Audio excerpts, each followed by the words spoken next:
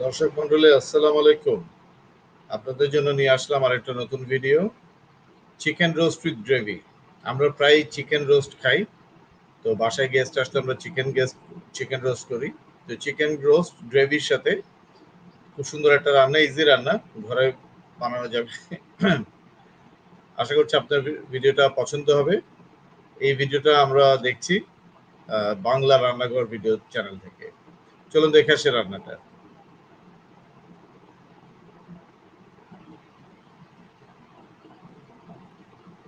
তাহলে আমাদের রান্না শুরু হয়ে গেল প্রথমেই লাগবে আমাদের লাল মরিচ, লাল মরিচের উপরে আচ্ছা লেমন জুস দিলাম সল্ট দিলাম, লবণ দিয়ে মাখামাখি করলাম, এরপরে চিকেনটাকে দেখুন সুন্দর করে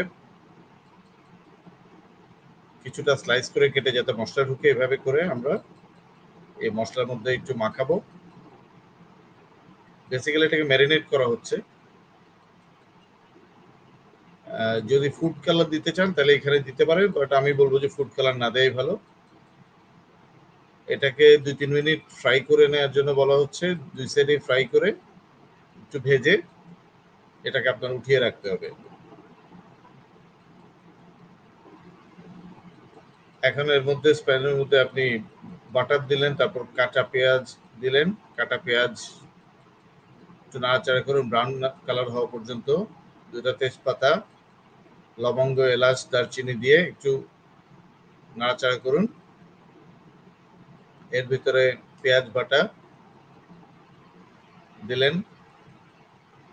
এরপর একটু লবণ দিলেন স্বাদ মতো। এক্ষেত্রে একটু পানি দেন যাতে লেগে না যায়। এরপরে, আর আদা, রসুন বাটা দিয়ে আবার একটু নাড়াচাড়া করুন।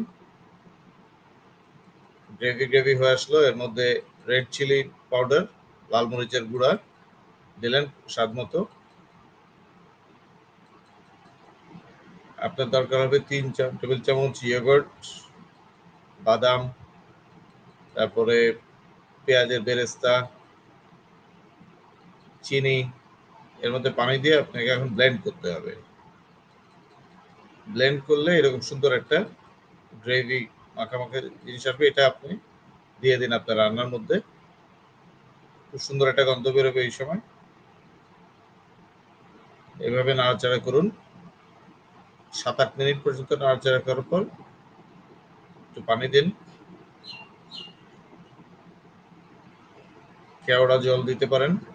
হাফ টেবিল চামচ, সুন্দর গন্ধ হবে। এর মধ্যে এখন আপনি আস্ত চিকেনটাকে আপনি এখন দশ মিনিট ধরে নাড়াচাড়া করুন। পেস্ট দিয়ে, গ্রেভিটা দিয়ে আপনি এপিট ওপিট ঢালুন, নাড়াচাড়া করুন, যাতে মুরগির পুরোটার মধ্যে গ্রেভি লেগে যায়। মুরগিটাকে আস্ত রোস্ট হিসেবে রান্না করা হচ্ছে। এর মধ্যে আপনি এক কাপ পরিমাণ পানি দিবেন। এর উপরে হালকা করে গরম মশলা দিতে পারেন। গোলমরিচের গুঁড়া, বিভিন্ন মশলা দিয়ে এখন আপনি একটু রান্না করুন যাতে এটা লেগে না যায়। উল্টো পাল্টে দিতে হবে গ্রেভিটাকে